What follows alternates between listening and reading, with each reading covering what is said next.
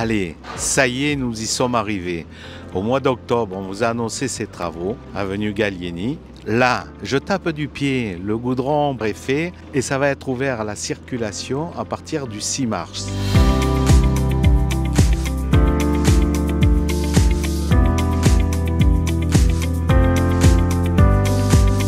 Et notre marché va revenir à partir du 7 mars. Le rendu est magnifique.